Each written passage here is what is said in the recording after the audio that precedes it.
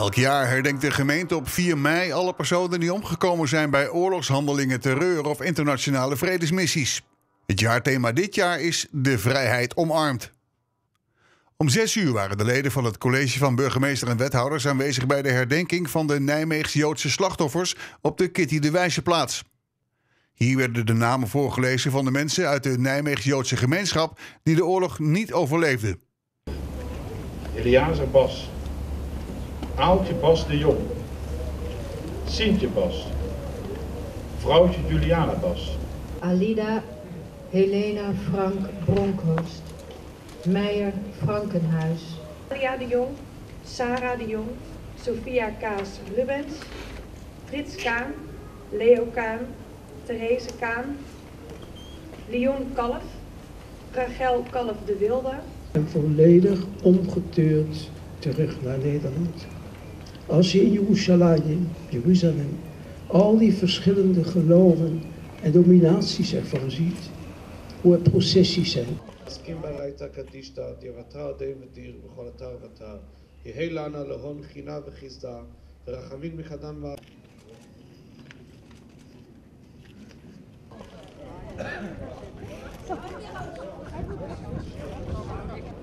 Om 7 uur was het gezelschap in de Stevenskerk voor de herdenkingsbijeenkomst. Een van de sprekers daar was professor Zwegman, oud-directeur van het Nederlands Instituut voor Oorlogsdocumentatie.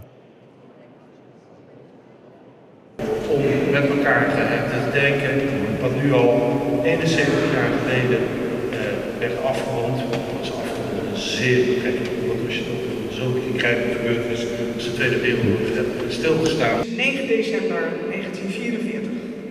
Heel vroeg in de ochtend.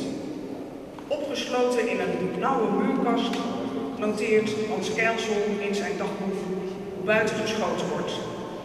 Binnen speelt een klein meisje op de piano toonbladders. Wat is er aan de hand?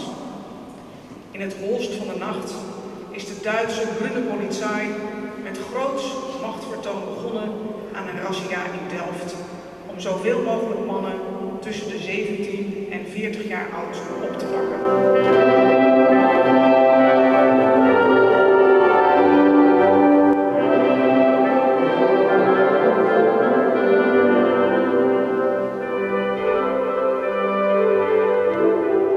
Vanaf de Sint-Stevenskerk gingen de aanwezigen in een stoet naar het Keizer Trajanusplein voor de officiële herdenking en kranslegging.